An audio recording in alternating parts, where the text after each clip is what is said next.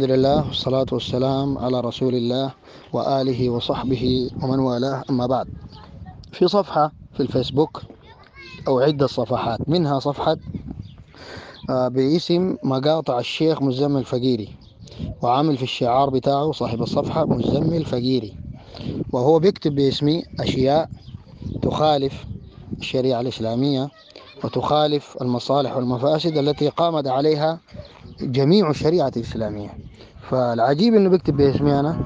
وبعض الناس كانوا بيقولوا إنه مزمل الفقير هو بيكتب في الصفحة دي. أنا اولا ما قاعد أكتب لا في الصفحة دي ولا في أي صفحة من صفحات الفيسبوك.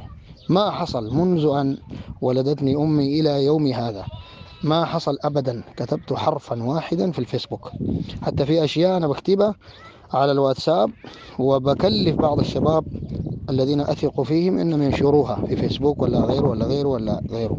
لكن أنا ما بكتب في فيسبوك أبدا ولا أعرف الطريقة اللي بيكتبوها في الفيسبوك.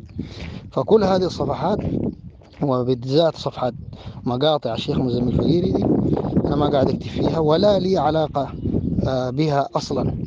لا من قريب ولا من بعيد. ولا أظن الشخص القائم على الصفحة دي سلفي أصلا.